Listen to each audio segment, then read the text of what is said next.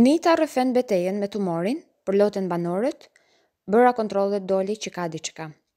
Nita ka rrëfyer sot para banorëve se një vit më parë ka patur tumor në gji dhe e ka operuar. Gjithçka shkoi mirë derisa ditët e fundit ajo ka ndjerë sërish shqetësime. Nita tregoi se ka dalë nga shtëpia për të bërë kontrollet dhe i kanë thënë që ka diçka, por jo shqetësuese.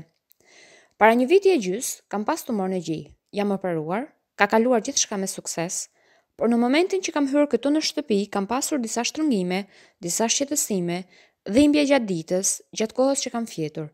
Dua të mos ndjeni dhembshuri për mua, jam shumë mirë.